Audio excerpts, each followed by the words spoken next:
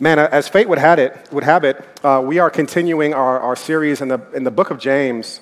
And the book of James, uh, for those of you who are newer to church and newer to Christianity, James is a, a book that will only take about 15 minutes to read it. And it's so full of wisdom. James is like verse after verse, giving us so much practical stuff on how do we live our lives. And as we think about all the things going on uh, in our world, in our city, um, I, I think about just this notion that there are so many times where I look myself in the mirror and I don't know what to do. And I think for us, in a lot of ways, we don't take full advantage of Scripture that seeks to be a resource for us to give us wisdom as Pastor Brandon talked about a couple of weeks ago, if anybody lacks wisdom, he should ask God because God gives wisdom to all without finding fault. Meaning that God is not like the friend that you call that if you haven't talked to them for a little while, when you first call them, they'll just remind you that you haven't reached out to them in a long time. And you don't want to call them because you're like, when I call them, it's going to be, I got to set aside 45 minutes because the first 15 minutes are all going to be about like problem solving for why I haven't hit them back. Scripture says that God gives wisdom to all who ask without finding fault, which means that when we go to God and ask God for wisdom, God is not holding over your head your prayerlessness or your previous ignorance. God is a, a free dispenser of wisdom. And James, for us, is this wisdom. Um, I, I think about so many times in my life where I wish I just had a friend that would tell me what to do. Uh, one of the things that I think stuck out to me after my grandmother passed away, my mother's mother, after she passed away, was that my mother would talk about how much she missed her mother in every way. But specifically, one way that stuck out to her was that my grandmother was like the source of wisdom in our family. And that when there were complex issues, we could just turn to grandma. And now that my mother, um, she's not older, she's, now that my mother has graciously acquired additional years and beauty, and beauty. Yes, give it up for my mother, y'all.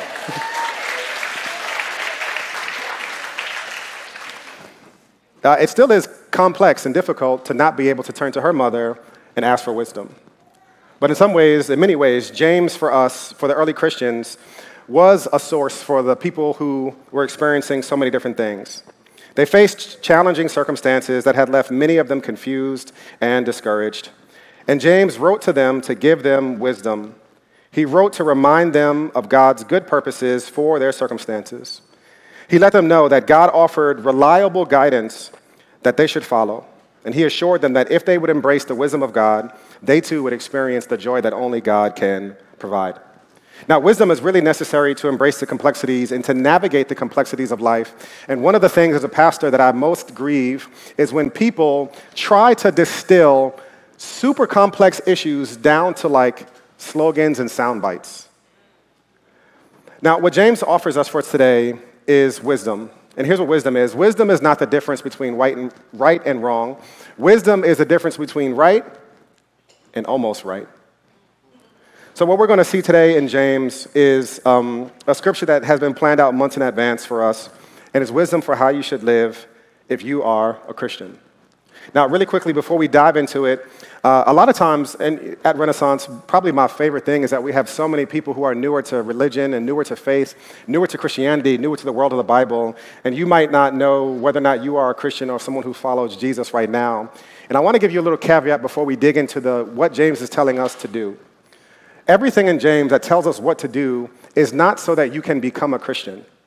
So, like, if you do all of these things perfectly, it's not going to make you a Christian. You and I can be a Christian and in right standing with God because of what Jesus Christ has done on the cross. Jesus Christ, because he loves us, God, in his great love for us, left eternity, entered humanity in the person of Jesus, went to the cross for our sins. And that for those of us who have placed our faith in Christ, we can now be reconciled and in good standing with God our Father, based on nothing else beside that. And if we attach anything else to our faith, we are lowering the value of what Jesus has done for us. And as we're talking today about Jesus and faith, if you feel conviction in your heart, listen, I want you to um, come up after for prayer or to fill out a connection card to speak to one of our pastors. We would love to walk with you and what it means for you to place your faith in Christ.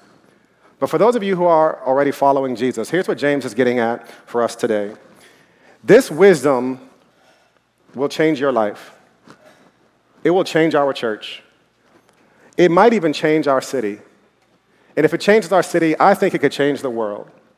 But it won't change anything unless it first changes you.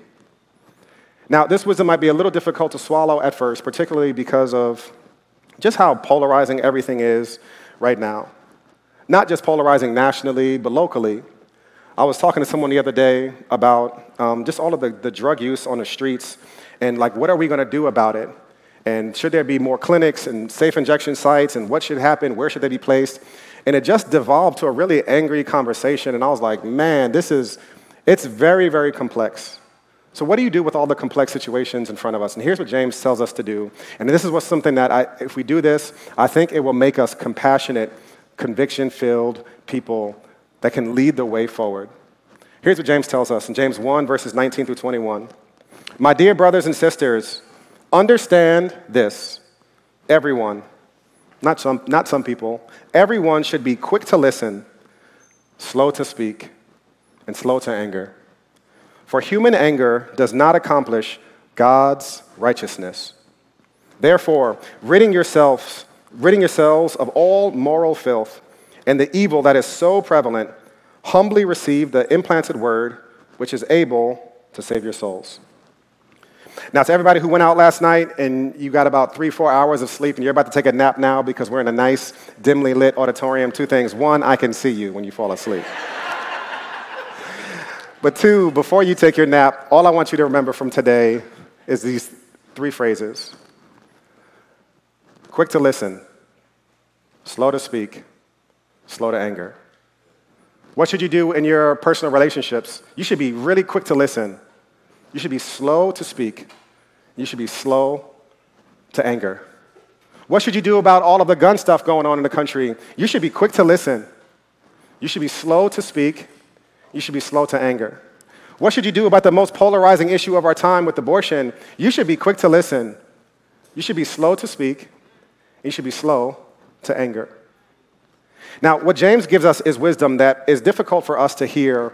And I think for some of us, we discard James's wisdom here because we think about the most outlandish thing people would say or the most outlandish person, and we want to throw away the baby with the bathwater because of in our minds, we can think of people and situations that nobody should listen to. Uh, yesterday, on our ride out against gun violence, um, as we got close to Harlem Hospital, and um, Brandon and Malia set up uh, a vigil that we would do, that we would release balloons in the air uh, for people who have been lost to gun violence. And as we got our way close to Harlem Hospital, we were chanting, Wheels up, guns down. And a man started yelling at us, I want more guns so we can kill more people. And Clearly, that brother had some issues. We should not have hopped off our bikes and said, you know what? James is telling us to be quick to listen, slow to speak, and slow to anger. Brother, tell us, why should we have more guns to kill more people? Come on, tell us. There are some things and some people that are so outlandish, they're just trash opinions. And I don't think that James is telling you you should fill yourself with trash opinions or, or we should allow anybody to speak into our lives. As one, another wisdom writer says in Ecclesiastes, he says this Don't pay attention to everything people say or you may hear your servant cursing you. So, which one is it? Should we be quick to listen, slow to speak, slow to anger, or should we not pay attention to everything people say? The answer is yes. Wisdom is situational. We will find ourselves in situations where, for a number of reasons, you might not want to be quick to listen, slow to speak, slow to anger, but it is the most helpful thing for you. And you might find yourself in situations where the best, most godly thing you can do is to remove yourself from a situation so that you don't have a certain conversation. I could think of a person, uh, a number of people actually, that are just, in, in, that I know, and God loves them, I love them. They are extremely critical and judgmental. And as a matter of fact, I can't think of a time in the last couple of years that I've been around them and not felt worse about myself. Like, I should not respond to every invitation from that person to hang out and let them speak into my life. I shouldn't call them after service to say, How was the sermon? Or else I'd be devastated every single week. We do need boundaries. We need wisdom in terms of what are the things that we are allowing ourselves and availing ourselves to. So, as we think about this scripture and unpack it today, I don't want you thinking about the most ridiculous, terrible things that people say or the most harmful and destructive people and say, well, I shouldn't listen to them. I think scripture would agree with you. But all of us need to take this word to heart because 99% of the time, you need to be quick to listen, slow to speak, and slow to anger. But that's not easy for us uh, for a number of reasons. Um, the first reason that is hard for Jordan is I'm prideful. My name is Jordan Rice, and I'm a recovering prideaholic. In my conversations, to be perfectly honest, I think what makes it so difficult for me to be quick to listen is that I already know I'm right. Like, I just, I, I joked about this a little bit last service. This sometimes I ask people questions and I've already, I've already done the thing. Like, I've already set the wheel in motion. Like, hey, what do you, I'll talk to my wife, say, hey, do you think I should have tweeted this thing? And it's like, I tweeted it already. It's too late. It's out there. Pride is so intoxicating. It feels so good. It puts me in the driver's seat. And when I am experiencing pride, it is impossible for me to be quick to listen, slow to speak, slow to anger, because I already know I'm right, so I don't really want to hear what you have to say. And I'm actually very quick to speak because my opinion is better than yours, because I've already filled in the blanks of what you're going to say, even though I haven't heard it. And I've already deduced that what you're about to say is less good than what I'm about to say. Pride is a dangerous thing. Throughout the scripture, pride over and over again is the greatest enemy of people. And humility is our best friend. God can do nothing with a prideful person. God can do a whole lot with people who have inconsistency issues, that have a whole lot of stuff going on in their lives. God can do a lot. As a matter of fact, the story of Scripture is a story of God using people who had all these flaws. But God can do nothing with a prideful person. There's a scripture in Psalms which is so sobering. It says this in Psalm 10 and 4. It says that in his heart, in his mind, in his life, the prideful person, there is no room for God. There's no room for God because we're so full of ourselves. C.S. Lewis defines pride like this Pride is the ruthless, sleepless concentration upon self. The worst part about pride is it's, it's really easy to see it in other people. It's super easy to see it in other people, but it's really difficult to see it in ourselves. And so, we need the mirror of Scripture God's perfect word that shows us ourselves in real reality. We need the mirror of community, brothers and sisters who love us, who are not afraid to tell us difficult truths, to show us the pride in our lives. And we need the humility to humbly say, God, I accept your words that convict me of my pride, and these are the people that you put in my life to help me see my pride, and to repent of our, of, the, of our pride. So sometimes we're not good listeners, and we're, we're quick to speak and not quick to listen because we're just prideful. Um, in your mind right now, this is like the litmus test if you're really prideful. This is like a really dangerous place to be. When I start talking about pride, if you start thinking about somebody else, like if your first thought was, yo, this dude Larry is like the worst. If you think about what your husband or your wife or your friend or your cousin did yesterday, that is a really dangerous place to be. Pride is like carbon monoxide. You don't know what's there until it's too late, until you're, until you're drowsy and you're just dozing to sleep. So, the number one reason I think it's, we struggle with the scripture in James is that we're just prideful people. Um, two, I think, I think we're ignorant. One of the things about Christianity that I've, I've come to learn over the years is that what it means to be born again, super deep spiritual term, means that we have been born again into a brand new family. And into a new family, there are new rules, new rules of engagement. The way that you used to operate should not be the ways that you operate now. And one of those areas is how you listen. Most of us growing up did not have really good examples of what does it mean to be a really good listener.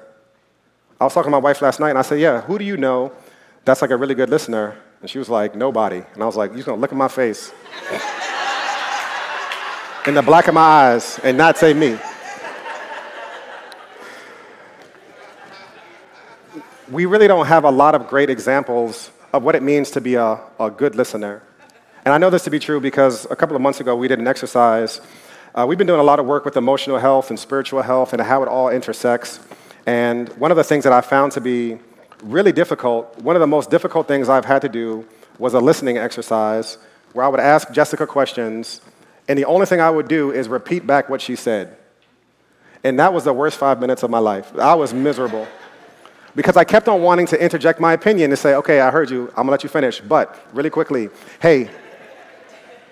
And that was just five minutes. Five minutes in a controlled environment. So think about how bad of a listener I am when I'm not in a controlled environment where people are standing over my shoulder, making sure I'm being a good listener. Uh, in his book, um, uh, How to Negotiate, this one FBI, a former FBI agent talked about negotiating with um, criminals and terrorists. And he always talked about this concept that every time there's like this high stakes hostage situation, there are always multiple people on the phone call listening because one person is never sufficient to listen to like the hostage demands. They just miss out on stuff. And these are people who know how dire the situation is. They're being paid money to do this, and still that there are gaps in between what is being said and what they're actually listening to. If that is something that's, that's true, think about how much in your own life you don't really listen to people. So we're never really quick to listen because we don't know how to listen. Here's what I want you to do as you think about uh, the conversations you're going to have today, this week, this month, personally, with your friends, family, coworkers, people you disagree with. Have you truly heard the person? And how do you know that you've heard the person? What they're actually saying? What I would recommend that you do is one helpful thing that I do, especially when I sense myself getting a little angry or sense myself getting a little prideful, wanting to respond very quickly, is I will repeat back to them what they just said. And then I'll allow myself to feel the reality of what they just said. Instead of justifying, correcting, I just want to, at this point, feel what they just said to me in that moment. So take that for what it's worth. Um, I think it's really helpful uh, as we seek to be people who are quick to listen. I think we need to practice because the muscle of listening for us is like really, really, really weak. And you'll know how, weak it is when you actually start to try to listen to people um, to truly hear what they're saying, not to correct them, not to guide them, but just to hear what they're saying. The last thing is, I think we're just fragile sometimes. Uh, we don't want to admit it, but we're not quick to listen um, because we're fragile. When, when someone offers constructive criticism of us, when someone corrects us, we're just too fragile to receive the, the correction. And so we respond with uh, an immediate pushback. So whether it's pride, whether it's ignorance that we don't know how to listen or whether it's fragility, um, I think we need to be honest with ourselves and think, think that if we are going to be the people that God is calling us to be, if we're going to navigate this world, we need to be people who are quick to listen, slow to speak, slow to anger. So James says this My dear brothers and sisters, everyone understand this. Everyone should be quick to listen, slow to speak, and slow to, to anger. As I thought about this scripture, one of the things that stuck out to me was that in my life, pride is always enticing and patience is always underrated. Have you ever wondered that in your life? That so many people want to be more patient, but none of us are? I've never had a, a, a time where I pray for people in the front of the service and they say, oh, yeah, patience, I got that. I got that down pat. I need some other stuff. Isn't it interesting that we're so, pe- we're so impatient? Why do you think that is? In part, I think it's because patience is truly underrated. And we don't see the value of what it looks like to engage, again, in complex issues with patience. Now, this is not to diminish or to dismiss the urgent needs of the things that we are talking about today, like gun violence, for being one thing, for, for, as an example. I'm not saying that we should be ignorant or unaware of the needs that are, that are happening but I was listening to a podcast this week, um, and one of the speakers was uh, the senator from Connecticut, the man who was involved in the Sandy, uh, not he wasn't involved, he was a senator in, in Connecticut when the Sandy Hook shooting happened. And he was talking about the deal that the Congress just passed to uh, the first historic deal in over 30 years to have some sort of gun reform. And he was talking about, well, of course, this is not everything I wanted, but this is a step in the right direction. And one thing that I've thought about, that I've, I've thought about in my own personal life, that I don't always apply to larger situations, it's this. Direction is always more important than speed. The direction that we're going in is always more important than speed. You can be going really fast in the wrong direction. And while I would like for there to be more progress in different things, I think patience is really underrated. And for us to be people who actually see things change over time, if you were to look back throughout American history, the people who actually saw like real change, They didn't get it overnight. And one of my fears in our instant uh, gratification culture, Amazon, Twitter, like everything happens so quickly that we have been discipled to expect everything that must happen needs to happen now, just because we said it with exclamation points. And that's not the way the world works.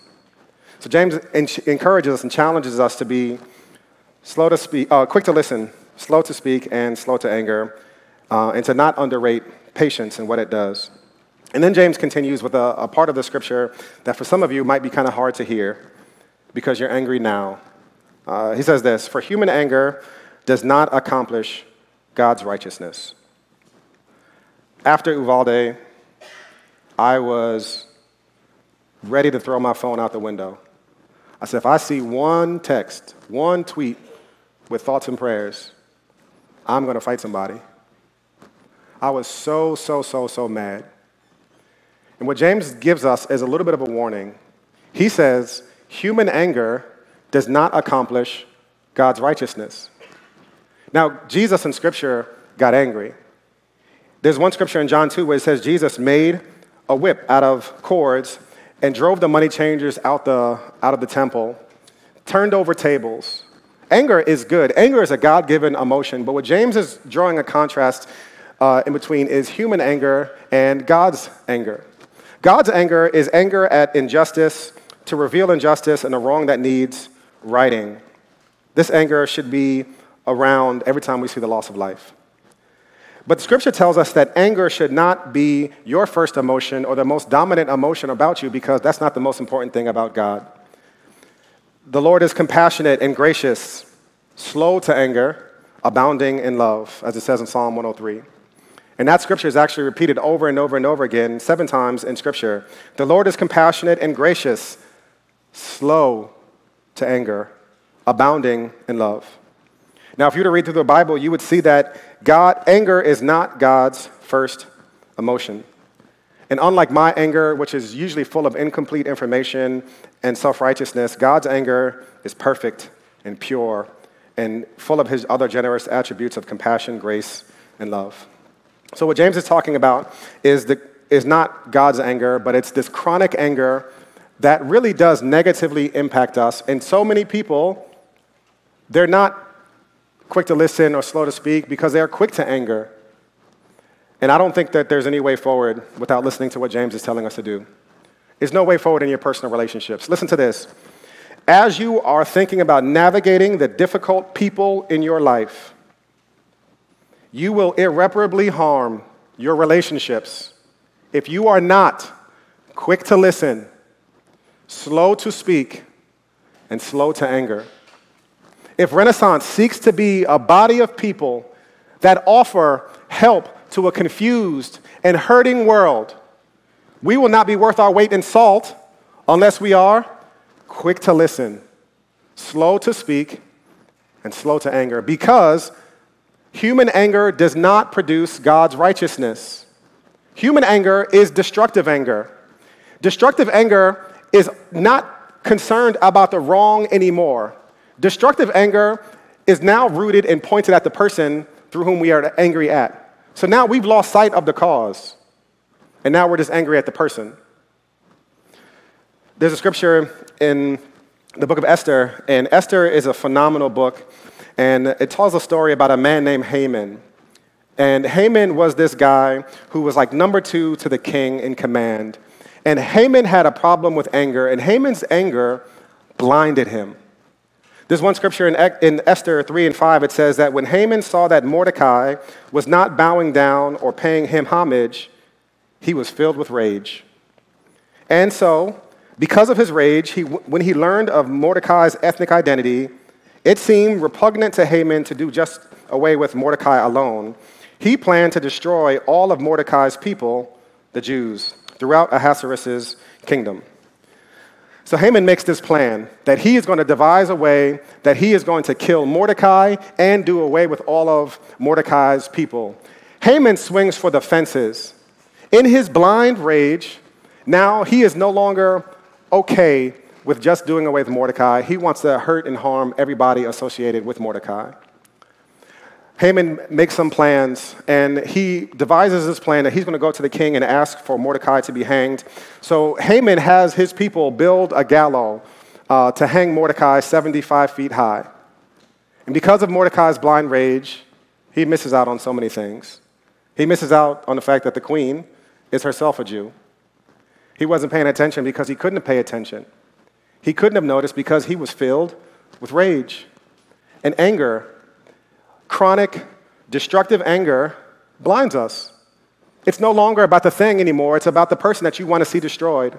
And scripture says in, in Esther 7 and 10, then they hanged Haman on the gallows that he had prepared for Mordecai. Then the king's anger subsided. Now, the story of Esther and Haman is, is, is one that for some of you, you'll say, wow, that's an interesting story, but that has no application to my life. Uh, one of the most difficult topics to talk about in church is that of forgiveness. People think that forgiveness is weak. People think that forgiveness is letting people go with stuff. And I've seen people spend decades miserable because they held on to unforgiveness against someone else. They harmed themselves because of their blind rage as to um, what someone else had done to them. Now, forgiveness is not just excusing things, it's not just allowing a person to continue to hurt you. It's none of those things. But forgiveness is releasing the debt. And so many of us, because of our anger, we harm ourselves in the process by holding on to unforgiveness, sometimes for decades, and the other person not even thinking about you. We harm ourselves because of our anger. And what James is saying is correct. Human anger does not produce God's righteousness. It doesn't produce God's righteousness, God's righteousness in your life and it certainly doesn't produce it in your relationships, and it certainly will not produce it in our church and in our world. So we need to be very careful about how, how, uh, how anger limits our ability to see um, and see things properly as they ought to be. Another thing I've really been fascinated with about anger is just how limiting it is in our lives. Um, have you ever noticed that if you're like really, really angry about something, you can't even really think about solutions anymore? You can't even think about solutions. Your creativity is out the window. Your plan of restoration is blank. Because blind, just this rage that we have that dominates us, uh, really does limit us in our ability to truly um, see things as they are and really to move forward. So we should be feeling our, the anger that we feel. We should be unearthing this, not suppressing it, right? We talked about emotions in general that uh, emotions are like kids on vacation. You shouldn't put them in a driver's seat or in the trunk, right? They have to be in the car with you. But we shouldn't give them access to the driver's seat, and we certainly shouldn't try to stuff them back in the trunk. But the, the most, I think, dangerous reason and the most profound reason that James is saying that you and I need to be people who are quick to listen, slow to speak, and slow to anger, because anger, human anger, does not produce God's righteousness, is because chronic anger really is rooted in of forgetfulness. I was talking to Dr. Sarita Lyons. She's one of the most profound speakers that I've really ever heard. And she's a psychotherapist and an attorney. Um, and she was talking about chronic anger and the anger that just burns through us and is an anger that is fueling us. And she talked about the people who live with chronic anger really are living as functional atheists. What does that mean? It means that even though you profess Jesus with your lips, you're living like God is not in control, that God is not a judge who will, uh, that God is not just, and that God will judge the world, and that nobody is going to get away with anything. Here's what Scripture tells us in uh, Hebrews 4 and 13 it says, No creature is hidden from him, but all things are naked and exposed to the eyes of whom we must give an account. A lot of times, we're so filled with anger because we think that people are going to get away with the grave injustices of our day. We think they're going to get away with it. And the only way we feel like we can penalize them is by being really consumed with, with anger. It's because we're forgetful that God is a judge, that God is just. God is holiness. God is righteousness. God doesn't just have righteousness, God is righteousness. You know, growing up, I think about the, the ways in which, if you trusted that God was just, and that God was a judge, and that God was going to have the final say, it would allow us to not be consumed with anger. My mother is the sweetest person in, uh, in this room. She just had a birthday this past Friday, and uh, we gave her a, yes, please. And in a lot of the affirmations, on birthdays, what we do in my family is we practice affirmations. We speak into the life of the person. And my mother is, is so sweet and so full of love. And it kind of made it difficult for her to discipline me and my brother growing up. We would pretend like her little pinches hurt, uh, and we would really be wilding out. But there is something that she would say that would like shift the entire mood. She'd say, That's okay. Wait till your father gets home. And she would be calm after that, like, oh, no, no, keep doing that. Let your room stay dirty. It's fine. Wait till your father gets home. She was able to be calm because she knew enforcement was going to happen. I wonder if we're so consumed with anger sometimes because we don't think that there's an enforcer. We don't think that God is truly just. We don't think that God is truly going to have the final say. So we feel like we have to manufacture it on our own. I'll end with this. One of my heroes is a woman named Fannie Lou Hamer. Fannie Lou Hamer was a civil rights activist, um, really in charge of helping to register droves and droves of black people to register to vote in the Deep South. And Fannie Lou Hamer endured more, probably in a week, than you and I have thought about in our entire lives. She suffered incredible amounts of threats and violence, both physically and sexually. And there's one story about Fannie Lou Hamer after she was uh, thrown in jail for registering black people to vote in the Deep South.